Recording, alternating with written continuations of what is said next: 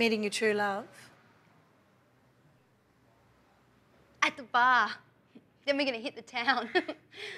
Mm, he's late. Seems a day for it.